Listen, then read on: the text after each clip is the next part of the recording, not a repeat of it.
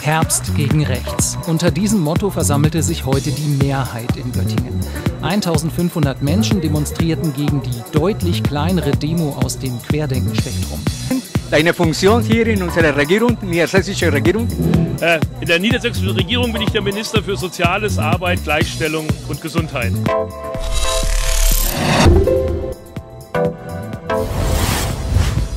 Ich halte das für extrem wichtig, äh, Flagge zu zeigen, äh, gerade äh, gegen, gegen Menschen, die, die versuchen, uns mit Lügen äh, hinter, die, hinter die Fichte zu führen. Wir brauchen eine starke demokratische Gegenbewegung. Die Polizei nahm zwei Demonstranten fest, die bei den Bränden mitgemischt haben sollen. Halt die Fresse!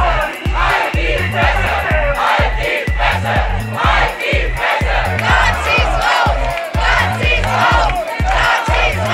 Ich der Minister für Soziales, Arbeit, Gleichstellung und Gesundheit.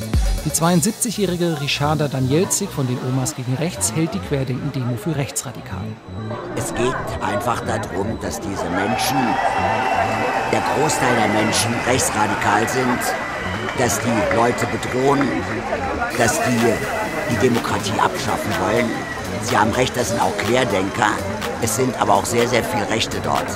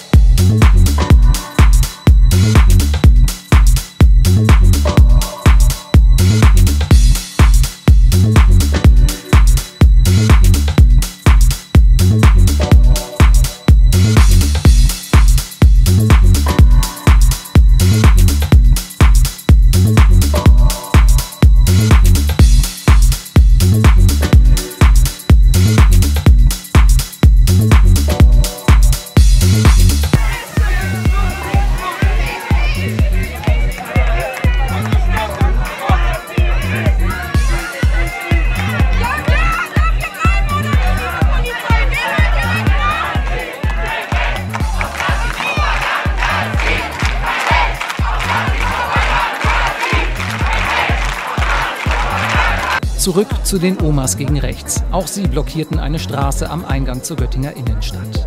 Hier werden Straßen blockiert. Finden Sie das in Ordnung? Ja. Warum? Weil ich denke, dass diese Menschen nicht nach Göttingen gehen sollen. Das sehen viele bei Herbst gegen Rechts so. Beim Herbsterwachen-Protest der sogenannten Querdenker wird das zurückgewiesen.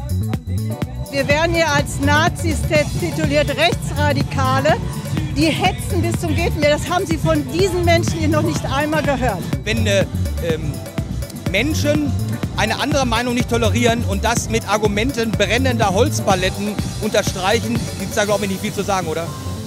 Herr Helmer, Sie sind Politikwissenschaftler am Institut für Demokratieforschung an der Uni in Göttingen. Müssen wir die Querdenkerbewegung so hinnehmen, akzeptieren, bekämpfen? Ist, es, ist sie gefährlich? Wie, wie schätzen Sie das ein? Es ist natürlich eine große gesellschaftliche Herausforderung, wenn ein Protest nicht nur einzelne PolitikerInnen oder einzelne politische Entscheidungen kritisiert, sondern das politische System insgesamt in Frage stellt. Ähm, wir finden allerdings auch nach wie vor vereinzelte Drohungen, dass man PolitikerInnen zur Rechenschaft ziehen wolle.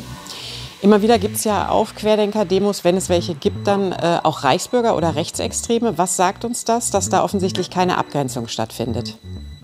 Also wir sehen wirklich äh, regelmäßig, dass Querdenken Verschwörungserzählungen von rechtsradikalen Akteuren wiedergibt, sich zu eigen macht. Ähm, wir sehen bei der Reichsbürgerbewegung, dass die Annahme geteilt wird, dass Deutschland kein legitimer, souveräner Staat sei, äh, was dort eine sehr weit verbreitete Verschwörungserzählung ist, äh, die auch Querdenken sehr stark vertritt. Also Verschwörungserzählungen als etwas, was man immer wieder findet bei den unterschiedlichsten Gruppen. Was heißt das jetzt alles für uns als Gesellschaft?